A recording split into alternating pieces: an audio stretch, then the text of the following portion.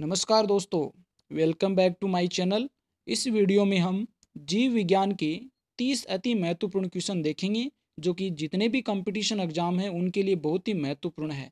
तो आप मेरे वीडियो को शुरू से लेकर अंत तक ध्यानपूर्वक देखिए। फ़र्स्ट क्वेश्चन है पेरिकार्डियम नामक दोहरी झिल्ली घेरे रहती है।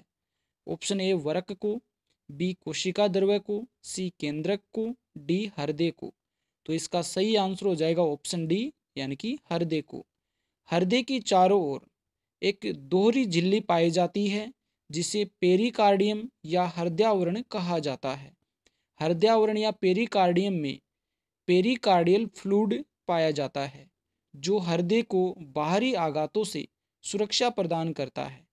तो फ़र्स्ट क्वेश्चन का सही आंसर हो जाएगा ऑप्शन डी, यानी कि हृदय जिसके चारों ओर पेरिकार्डियम नामक दोहरी झिल्ली पाई जाती है। नेक्स्ट क्वेश्चन है अमोनिया का यूरिया में परिवर्तन होता है। ऑप्शन ए, अग्नाशय में, बी, यकृत में, सी, वरक में, डी, अमाशय में। तो इसका सही आंसर हो जाएगा ऑप्शन बी, यकृत, यानी कि लीवर में अमोनिया का यूरिया में परिवर्तन होता है। यकृत के द्वारा पित्त रस का श्रावण किया जाता है, जो पिताशय में एकत्रित होता है और भोजन में, यानी कि भोजन के अम्लीय माध्यम को क्षारीय माध्यम में बदलने का कार्य करता है, यानी कि पाचन में सहायता करता है। नेक्स्ट क्वेश्चन है, रक्त के प्लाज्मा में जल होता है। ऑप्शन ए, नब्बे प्रतिशत, बी, साठ प्रतिशत, सी, निन्यानवे प्रतिशत, डी, पचास प्रतिशत। तो इसका सही आंसर हो जाएगा ऑप्शन ए, यानी कि नब्बे प्रतिशत रक्त में, रक्त के प्लाज्मा में जल है, वो नब्बे प्रतिशत होता है। जबकि प्लाज्मा होती है, वो लगभग फिफ्टी फाइव प्रतिशत के लगभग होती है, यानी कि पचपन प्रतिशत के लगभग होती है, जिसमें नब्बे प्रतिशत जल होता है। नेक्स्ट क्वेश्चन है, हमारे हृदय में कितने कोष्ठ होते हैं? ऑप्शन ए दो बी तीन सी चार डी वन तो इसका सही आंसर हो जाएगा ऑप्शन सी यानी कि चार। इसमें दो आलिंद होते हैं, दो निलय होते हैं। तो टोटल कुल मिलाकर के हमारे हृदय में चार कोष्टक होते हैं। नेक्स्ट क्वेश्चन विलियम हार्वे ने किसकी खोज की थी या किसकी खोज के लिए प्रसिद्ध हैं?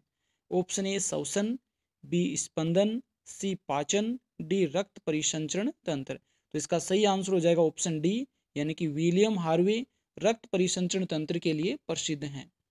नेक्स्ट क्वेश्चन है अनोक्सी शोषण में अंतिम उत्पाद होता है। Option A starch, B pyruvic अम्ल सी शर्करा, डी इथाइल एल्कोहल। तो इसका सही आंसर हो जाएगा इथाइल एल्कोहल। नेक्स्ट क्वेश्चन है, अंगूर पिचक जाता है। ऑप्शन ए आसूत जल में बी नमक के घोल में सी शक्कर के घोल में डी अरंडी के घोल में तो इसका सही आंसर हो जाएगा ऑप्शन सी, यानी कि शक्कर के घोल में अंगूर पिचक जाते हैं। नेक्स्ट क्वेश्चन, पौधों में श्वसन क्रिया होती है। ऑप्शन ए केवल रात में, बी केवल दिन में, सी दिन व रात दोनों। डी केवल प्रातः काल में। तो ऑप्शन सी इसका सही आंसर हो जाएगा, यानी कि दिन व रात दोनों में ही श्वसन की क्रिया होती है। नेक्स्ट क्वेश्चन जल को पौधों के विभिन्न भागों में पहुंचाता है। ऑप्शन ए एधा बी मर्दूतक सी जायलम डी फ्लोएम। तो इसका सही आंसर हो जाएगा ऑप्शन सी यानी कि जायलम है जो पौधों के विभिन्न भागों तक जल को पहुँचाने का कार्य करता है। जायलम, यानी कि जो जल को जड़ों से ग्रहण करता है और जल की जो अलग अलग भाग हैं, वहाँ तक पहुँचाने का कार्य करता है। नेक्स्ट क्वेश्चन आता है फिर। फेफड़े में अशुद्ध रक्त आता है। ऑप्शन ए बाएँ नीले से बी दाहिने नीले से सी दाहिने आलिंद से डी बाएँ आलिंद से। तो इसका सही आंसर हो जाएगा ऑप्शन बी यानी कि दाहिने नीले से फेफड़ों में अशुद्ध रक्त आता है। नेक्स्ट क्वेश्चन है वर्कों का कार्य है।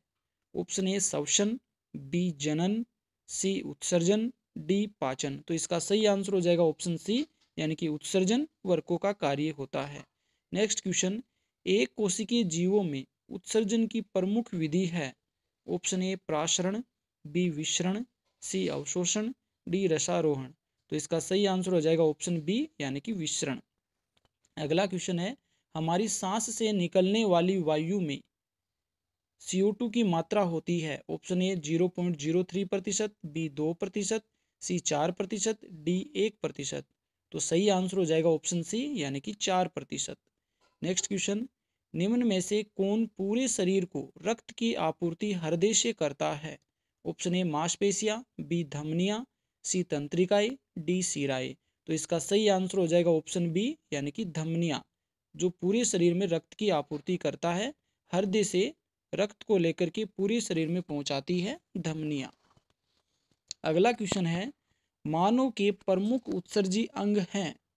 ऑप्शन ए हृदय बी वरक सी छोटी आंत डी अग्नाशय। तो इसका सही आंसर हो जाएगा ऑप्शन बी वरक, यानी कि किडनी, जो कि मनुष्य का प्रमुख उत्सर्जी अंग होता है। नेक्स्ट है एटीपी है। ऑप्शन ए एक एंजाइम जो ऑक्सीकरण क्रिया करता है। बी एक हार्मोन सी एक प्रोटीन डी एक अणु जिसमें उच्च ऊर्जा युक्त फोस्फोरस फोस्पेट बंद होते हैं। तो ऑप्शन डी इसका सही आंसर हो जाएगा। एक अणु जिसमें उच्च ऊर्जा युक्त फोस्पेट बंद होते हैं और एटीपी की फुल फॉर्म होती है एडिनोसिन ट्राईफोस्फेट नेक्स्ट क्वेश्चन आता है फिर। सेवनटीन नंबर का क्वेश्चन किस क्रिया में कार्बन डाइऑक्साइड निकलती है? ऑप्शन ए शवसन बी प्रकाश संश्लेषण.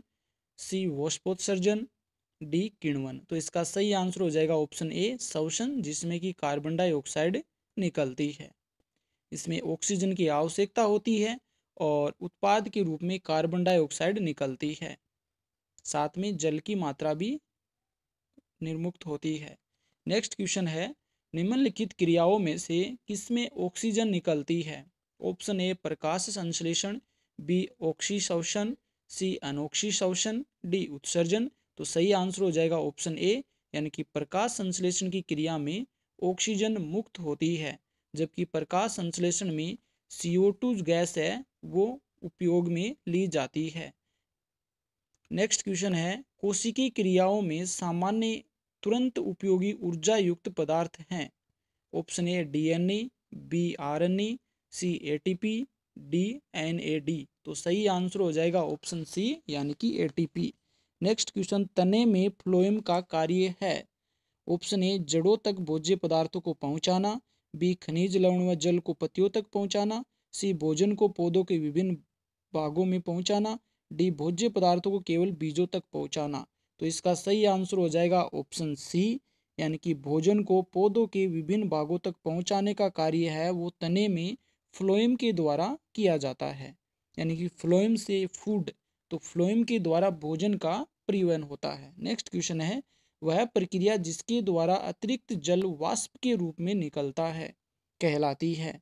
ऑप्शन ए शवसन बी, प्रकाश संश्लेषण, सी, बिंदु श्रवण और डी है वाष्पोत्सर्जन। तो इसका सही आंसर हो जाएगा वाष्पोत्सर्जन या ट्रांसपीरेशन नेक्स्ट क्वेश्चन है, प्रोटीन पाचक एंजाइम है। Option A amylase B ptyalin C maltase D pepsin तो इसका सही आंसर हो जाएगा ऑप्शन डी यानी कि पेप्सिन नेक्स्ट क्वेश्चन यूरिया का संश्लेषण होता है। ऑप्शन ए वरकमी बी रक्तमी सी यकृत में डी अग्नाशय में तो इसका सही आंसर हो जाएगा ऑप्शन सी यानी कि यकृत में यूरिया का संश्लेषण होता है। नेक्स्ट क्वेश्चन मछलियाँ शोषण करती है। ए गलफड़े द्वारा बी फेफड़े द्वारा सी बुक क्लोम द्वारा डी त्वचा द्वारा। तो सही आंसर हो जाएगा ऑप्शन ए गलफड़े द्वारा या गिल्स द्वारा मछलियाँ शोषण करती है। नेक्स्ट क्वेश्चन शोषण क्रिया से मानव शरीर में होता है। ऑप्शन ए वर्दी बी ग्लूकोज का ऑक्सीकरण सी विषाणुओं का निर्माण डी ग्लूकोज का निर्माण। तो इसका सही आंसर हो जाएगा ऑप्शन बी यानी कि शोषण की क्रिया द्वारा ग्लूकोज का ऑक्सीकरण होता है। नेक्स्ट क्वेश्चन, बीजांड में प्रवेश के समय प्राग नलिका में केंद्रकों की संख्या होती है। ऑप्शन ए एक, बी दो, सी तीन, डी चार। तो सही आंसर हो जाएगा ऑप्शन सी, यानी कि तीन। नेक्स्ट क्वेश्चन है, जब एक नर युग्मक अंड कोशिका से संयुक्त होता है तो बनता है। ऑप्शन ए भ्रूणपोष बी भ्रूण, सी बीजांड, डी फलवित्ती। तो सही आंसर हो जाएगा ऑप्शन बी, यानी कि भ्रूण का निर्माण होता है। नेक्स्ट क्वेश्चन भोज्य पदार्थों का सेवन करने वाला उत्तक है। Option A phloem B xylem C मर्दुतक. D स्थूल कोणोतक और ये क्वेश्चन हमने पहले भी देख लिया तो सही आंसर हो जाएगा ऑप्शन ए यानी कि फ्लोएम नेक्स्ट क्वेश्चन है, निम्नलिखित में से कौन सा जंतु द्विलिंगी है? ऑप्शन ए मेंढक. बी केंचुआ. C ascaris. डी तिलचटा. तो सही आंसर हो जाएगा ऑप्शन बी यानी कि केंचुआ, जो एनिलिडा संघ का सदस्य है, जो कि द्विलिंगी होता है। नेक्स्ट क्वेश्चन जीवाणु वृद्धि के लिए निम्नलिखित में से कौन सा संवर्धन माध्यम प्रयोग में किया जाता है? ऑप्शन ए आयोडीन बी एगार सी शर्करा डी एल्कोहल तो इसका सही आंसर हो जाएगा ऑप्शन बी यानी कि एगार एगार जिसमें जीवाणुओं को संवर्धित किया जाता है।